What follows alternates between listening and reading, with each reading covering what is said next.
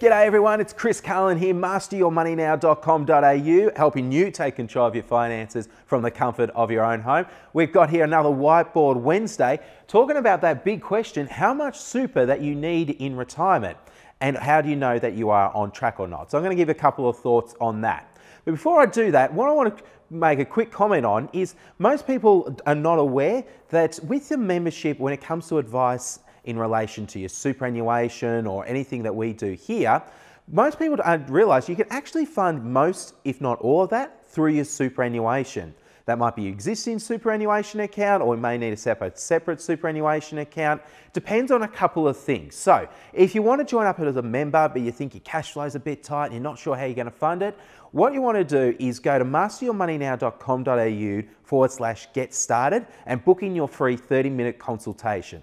We'll ask a few questions, get to know each other during that appointment. But one of the things that we'll ask is, well, do you want to pay this through your super or out of your bank account? There's advantages and disadvantages to both. But have that discussion with us. If cost is a concern, let's use your superannuation because I want you to get this information and the knowledge and surround yourself with the right people when it comes to building your finances. And I'm sure the benefits will considerably outweigh the, the investment that you've got to make to become a member of Master Your Money Now. Okay, so what I wanted to talk to you about is how much superannuation do you need in retirement? Because most people don't know. Most people see they've got a balance in their statement. It may not say much. Is that enough? Are they on track? What I want you to do is give a little bit of a guide in regards to how much that you need. And I stress it, it this is a guide because every single person is different. Because ultimately, the question is not so much how much super that you need in retirement, but how much of an income that you need in retirement. So, how much do you need to generate every single year in order to cover your expenses that you want to live? Now, retirement may be at age 40 if you've set it up correctly, or age 60, uh, age 80, whatever that may be. If you're talking about your super, then it's got to be beyond age 60. But what, how much income that you need in retirement. Now, there's some boffins in Canberra that calculate, well, what sort of lifestyle that you need to live to have a comfortable retirement. And most people will say for a couple, it's about $60,000 a year. Now, for some people, that's actually quite a lot of money. For some people, they can't live on that at all. That's not much at all. One of my first ever clients was struggling to live on $200,000 a year. But if we use $60,000 as a benchmark, we would say that if you were retired today, so if you're 60, 65, whatever that may be, if you want to retire and generate an income of about $60,000 a year, we would say that you need about $1 million, zero, zero, zero, zero, zero, if you were to retire today. Okay? Okay, so that's great if you're retiring today. What about if you're a Gen Y, you're in your 20s and 30s, how much that you think that you need? When we take into account inflation, which is about 3%, that actually works out. If you're uh, a Gen Y, that works out you need about $3 million if you were if you're under 30 today. Okay, that's what you, so these are a couple, if I didn't stress that early enough. This is what a couple needs. If you were wanted to retire today, you'd need a million dollars. If you are under the age of 30, you need to be aiming for about $3 million. Now, $3 million sounds like a lot of money, and it is. I'm not going to lie to you, it's a lot of money. But if we break it down, we can actually see how achievable that is. Okay? So let me break this down for you. Let me break it down. So at age 60, um, $3 million, so you'll need $1.5 million each. Okay?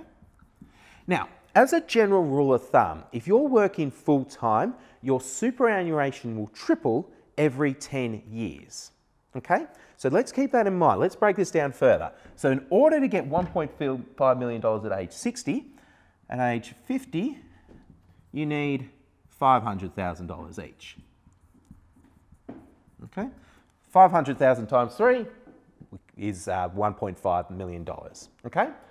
Age 40, I'm going to round this off a bit to keep the maths easy. It's about 150,000 that you'll need each in your superannuation account.